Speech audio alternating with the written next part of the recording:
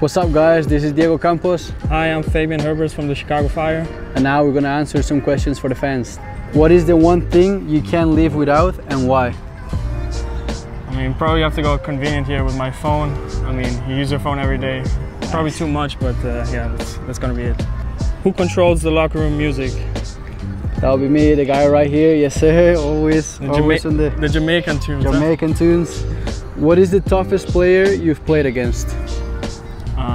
The toughest, probably the best player I played against was Pirlo uh, from NYCFC. He was uh, sick, like you couldn't get on the ball when he was on the ball, and like whatever I tried, like I ran at him, you know, he didn't he didn't lose the ball. He was he was pretty sick. Nice. What's your favorite subject in school? My favorite subject in school, uh, I, I got an economics degree. It was pretty hard, but probably my favorite was one of the econ classes. Uh, one person you would like to have coffee with, dead or alive? Um, uh, I think I'm gonna go with Mahatma Gandhi. I've been reading some books about him, uh, so I'll be really interested to, to have a conversation with him. What's the last thing you saw on Netflix?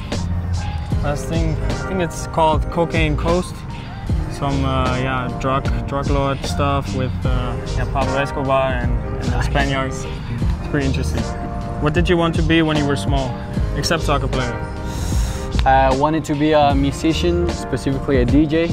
Uh, I used to work as a DJ. Uh, it's still my hobby, it's still my passion. I love music, and that's that's what I wanted to be. If it wasn't for uh, for soccer, you know. What's a typical day like for you? Usually in the mornings, uh, yeah, we have practice obviously. Um, in the afternoons, I like to go grab a coffee somewhere. And at night, either watch TV or go to dinner with some friends or teammates. If you could relive one memory, what would it be? From soccer or just General. general?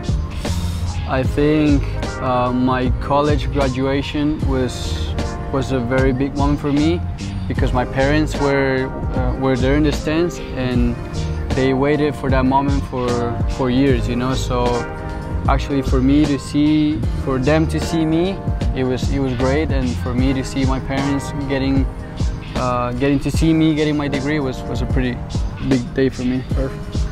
What's your favorite pair of cleats? Uh, I like the Adidas X's. Um, I think they're super comfortable, they're super light.